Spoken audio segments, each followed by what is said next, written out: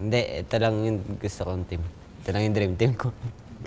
Execration lang. Sila-sila pa rin.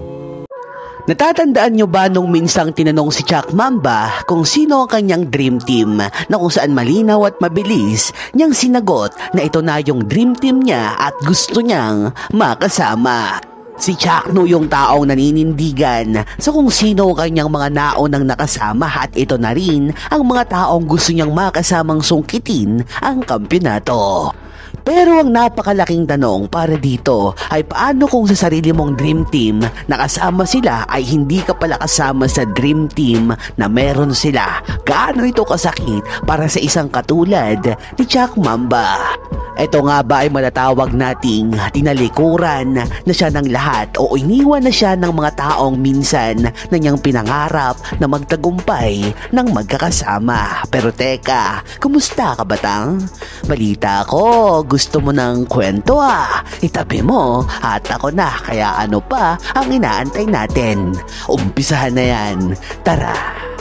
Alam nyo ba kung gaano kasakit o kahirap para kay Chuck No na mawala ang mga taong minsan na niyang pinangarap na makasama sa pag-abot ng kampyonato at tinuring bilang isa sa kanyang mga dream team?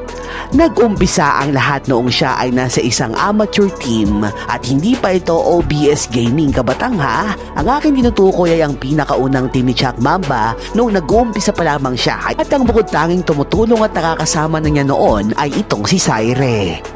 Si Syre talaga ang pinaka-original at pinakaunang nakasama nitong si Chuck hanggang sa tuluyan nilang napasok dalawa ang OBS Gaming na kung saan nang dahil sa OBS ay dito sila nakilala ng Execration na nooy membro ang kanyang idolo na si Zapno.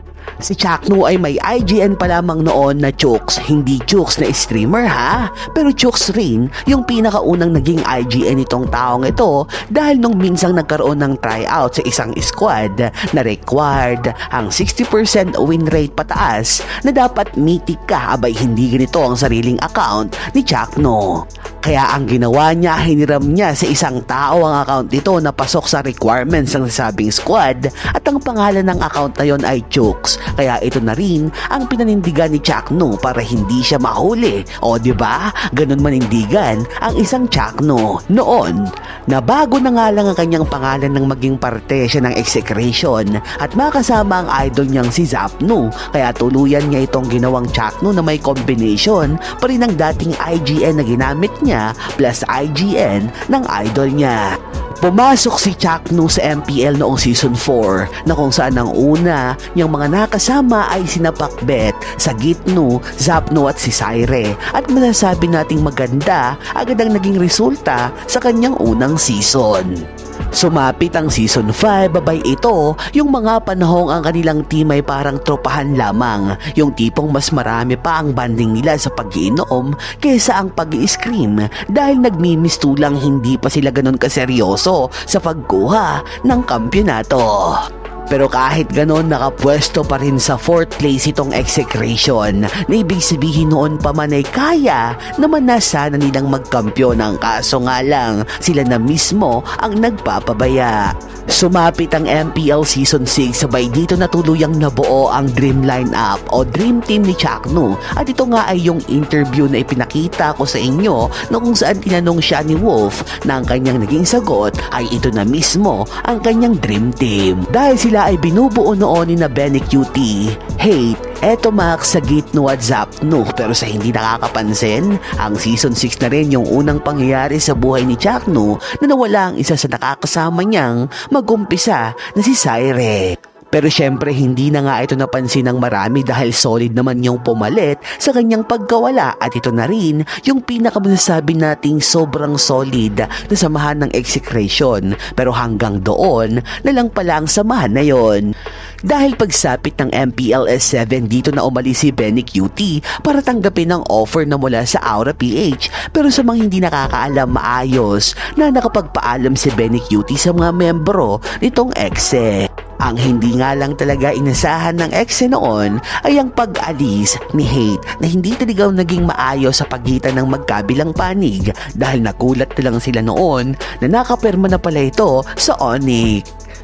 idagdag mo pa na ito na rin yung pagkakataon na mas pinili na ni Sagitno na mas sumikat sa pagla-live at mas kumita ng malaking halaga sa pag stream kaya naman napunta siya noon sa bootcamp ni Boss D.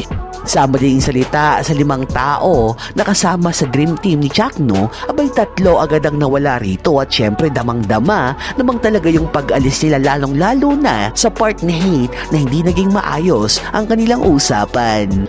Ibig rin sabihin nito mula kay Syre, Benny sa gitno at hatred abay may apat na nga umalis sa tabi ng isang Chak Mamba. Pero dito naman dumating sina Renjo, Kel VJ at Kelra na muling nagbigay ng pag-asa para kay Chakno at ito na rin yung unang pagkakataon na nakakuha sila ng kampiyonato sa MSC. Pero pagsapit ng MPLSA, tuloy na silang naging Smart Omega at mas lalong dumami ang mga membro nila rito at nagtuloy-tuloy ng maayos ang samahan ni na Chaknu hanggang MPL Season 10. Pero pagsapit ng MPL Season 11, ito na yung worst season ni Chaknu dahil tuloy na muna siyang nagpahinga at nagkaroon pa ng problema sa pag-ibig.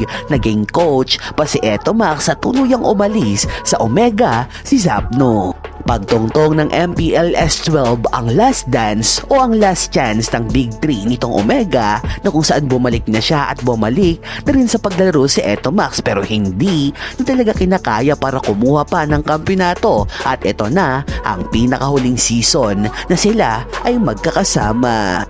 Dahil pagsapit ng MPLS 13, lahat ng mga taong nakasama sa Dream Team ni Chaknu ay tuloy na siyang iniwan mula kay Syre, Benny, Hate, Sagitno, Kel VJ, Renjo, Kelra, Zapno, lalong-lalo na itong si Eto Max. Sa totoo lang, kung ikaw ang nasa katayuan nitong si Chakno abay sobrang sakit namang talaga nito kung iisipin mong mabuti. Biruin mo halos lahat ng mga taong naging parte ng buong karir mo sa paglalaro ay iniwan ka na idagdag mo pa na maging yung pagkawala ng kanyang girlfriend ay isa sa mga pagsubok na kinaharap nitong taong ito. Dahil speaking of iniwan, abay si Kelra at Eto Max nga kasi ay tuluyan ng naanunsyo bilang mga bagong membro ng Onyx PH. Kumbaga si Kelra bilang gold laner at si Eto Max bilang bagong coach ng team na Onyx. Nasa madaling salita, naiwan na ng tuluyan ng isang Chak Mamba. Kaya hindi na rin ako magtataka kung bakit lumabas yung usap-usapan patungkol sa paglalaro niya sa MDL dahil malamang sa alamang ayaw maiwan ng taong ito sa isang kupunan na pare-pareho nilang binuo sa loob ng ilang season. Ang masakit pa sa part na ito malamang gustuhin mang lumipat rin ni Chakno sa kupunan na Onyx ay hindi na siya gusto pang kunin ng mga ito nang dahil na rin sa naging performance niya last season. Ganun pa man, GGWP para kay Chakno. Sana ay makabangon kang muli, yung tipong isa ka ulit sa tinitingala ng marami at muling mapahanga ang lahat sa paraan mo ng paglalaro. Pero oo nga pala, mapunta muna tayo rito sa Omega dahil nahuli kam nga si H2 na kasama na nga sa kupunan na Omega habang nag-photoshoot na hindi na maikakaila ang tuluyan niyang pagbabalik at ang maganda pa nito, may mga nagsasabing siya ay babalik sa pag-gold lane. Ito ay dahil mayroong Sir Matt at Andoryu sa lineup nitong Omega na kung maging si H2 ay jungler pa rin na ba ibig sabihin nito, tatlo na silang jungler ng team kaya ang inaasahan ng marami ay tuluyan na siyang nilipat sa bagong role.